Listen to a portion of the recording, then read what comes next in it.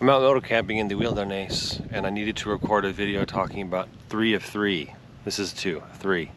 What happens when you buy a motorcycle and you want to ride it, you don't know what to do. You picked a motorcycle, you bought it, but now you'd like some tips on what to do with the bike, namely on how to get it street legal. Oh, the sun's breaking right through. Now I'm gonna be like, like this. So I'll just, no. Oh, if I stay over here, it blocks the sun. Well, we're just gonna have the sun, and I guess, okay. Most important document is the title. It's a piece of paper that has the vehicle information on it. It's the VIN number, the make and model, has your name on it. And the second most important thing you're gonna need at the DMV is a proof of insurance document. You need to have insurance on the vehicle and you can get your vehicle insured through whoever and however you want. You have to have a state minimum for collision insurance.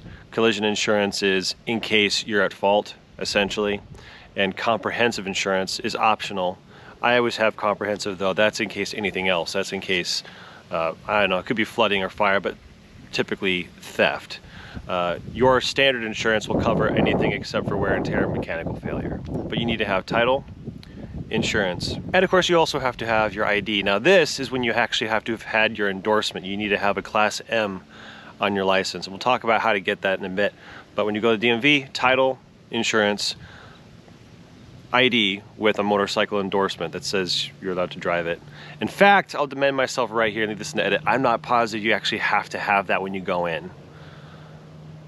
I don't think you have to be right. I don't know. Who knows? But we'll, I'm gonna. You, if you want to ride it legally, you do have to be endorsed, and I'll get to that. So two optional documents. First of all, is bill of sale. Not every state requires it. Some do. A bill of sale is a document that you and the seller have signed that basically bolsters or affirms that yes, this is who we are and this is the transaction that took place, this is the vehicle that was sold and this is how much money was spent. Depending on what state you're in or where you bought it, you may have to do a vehicle inspection. In Kansas, if you buy a vehicle from out of state, you have to go to the Highway State Patrol, spend about $25 to have them look at it for 10 minutes, assuming there is no line. It's not a big deal, but your state may require that as well and may require that document. It may be a digital one, it may be a physical one. So going to the DMV, you could need as many as five documents to get your vehicle registered. You could need, you will need title, proof of insurance, maybe an endorsement, might need a bill of sale, might need an inspection.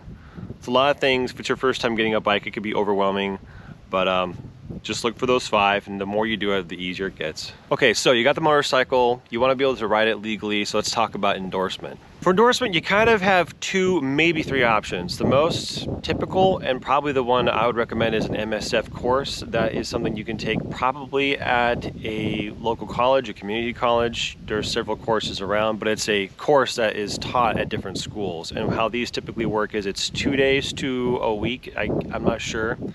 Um, they provide you a motorcycle and you take driving tests out in a lot with an instructor with other students. And after the days are over, you have an endorsement. You can just take the certification from that class and go to the DMV, the uh, the driver's license DMV, not the uh, car DMV. In Kansas, it's different.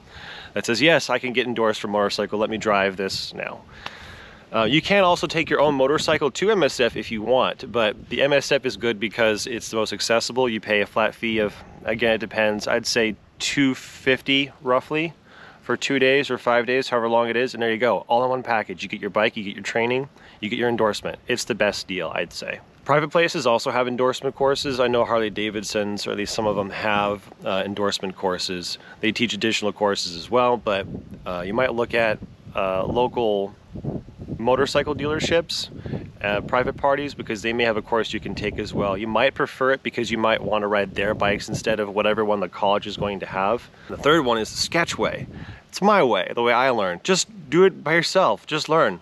Um, I bought a bike and I took it to a parking lot and I just rode it around for a couple weeks until I felt like, yeah, I, I think I have it figured out. And then I went with my knowledge of my own bike to the DMV and took their driving test, motorcycle driving test, and I passed that which was a very easy test. I can't say what it was or what yours is going to be, but if you want to go at your own pace and save 250 bucks, if you have your own motorcycle and you're willing to just drop it and learn on it, that's a way you can do it too. That's really all the important stuff if you didn't know how to do any of that. So the next section is ownership. With your motorcycle, you want to be watching your oil, your tires, and your chain, and making sure you get the service intervals. You can do oil changes yourself, make sure you look up the oil service interval or the Motorcycle service interval for your bike and make sure you're doing the oil changes yourself or getting it done by your dealer among the other intervals that you might have. My bike required oil at 6,000 but at 12,000 miles required that and then a timing chain tensioner which I can't do so took it to my dealership for that. Make sure you're getting those.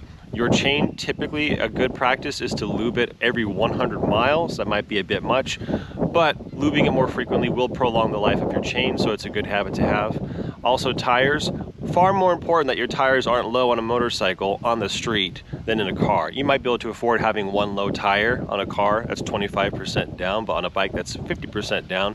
And if you're unaware of it, because your bike's handling is so heavily dependent on it, it's important to regularly check your tire pressure. It'll have your tire pressure max load on the side of each tire. Typically don't fill your bike to the max, but maybe close. Those tires are max at 41. I keep them at 36. And uh, the only reason you might air them down is if you're going off-road. Anyway, just make sure your tires aren't getting flat.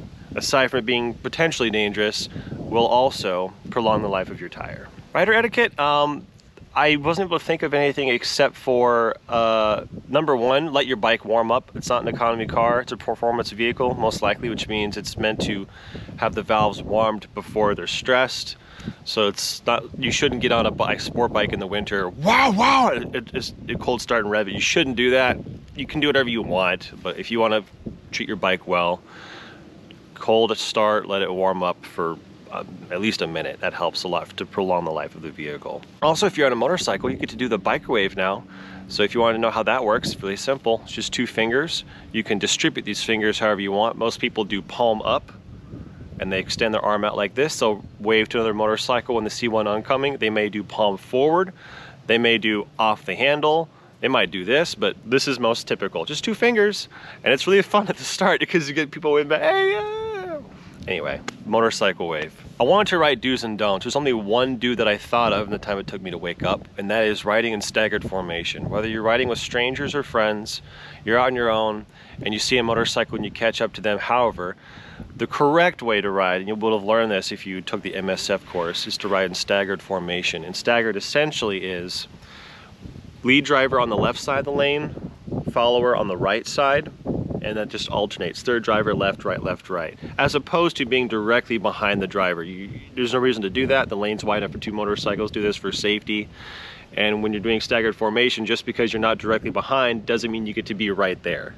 Your distance behind anyone even a bike in staggered formation shouldn't be any different than if you were following a car in traffic. So give them their space and so on. So just um, unless you know the rider and you guys trust each other, or if you're at idle and you're going really slow, there's no reason to be next to each other or this close. Keep each other your space. And the reason for this is because this way you have time to react. If you're right here and this driver sees a squirrel and has to do this, he'll either hit you or freak you out. So just give each other time and space. Now I have like 30 seconds to think of right or don'ts before I gotta put the camera away and pack up and get on with this trip. This isn't really a don't, but don't be afraid to make mistakes. You are going to find new limits for yourself and your riding abilities by pushing yourself, however slightly. Every once in a while, for me personally, depending on whatever bike I'm on, I think I know what my max lean angle is in any given situation with my bike. But every once in a while, every few months, I'll go, maybe I was wrong, maybe I can go a little bit more and then I'll get the skid and I'll freak out. I'll go, okay, yep, that's it. That's the max. I'm glad I know what the limit is, but that's an example of pushing yourself. And I'm not saying go hard, but don't be afraid to make mistakes. It's how you learn. Oh, maybe a don't mistake is uh, make sure the kickstand's all the way up. And when I started, there were a couple times where I thought my bike was broken. It won't start. It's not working. It's because the kickstand wasn't all the way up and the sensor hadn't been tripped and it wouldn't allow the bike to start. I guess that's something. Bonus section, I was going to say how I've changed as a rider, and I have changed as a rider. Been riding for almost 11 years now, and I've owned over 10 motorcycles. I'd say 15. I've changed as a person also. That's probably mostly just because I'm getting old. Um, I think the cool thing about all of it is motorcycles change, preferences change. I like different bikes than I did back then, and I like bikes that didn't exist back then that exist now. So it's a the bikes can change with you. It's a cool thing. It's a cool thing. Not important, but I think that's all I have to say about that. I hope that this was helpful. Thank you guys for watching this. I have to pack all my stuff and get on to the wilderness. So thank you guys for watching. Bye. Sorry, what'd you say? Oh, God, sorry about that. Okay.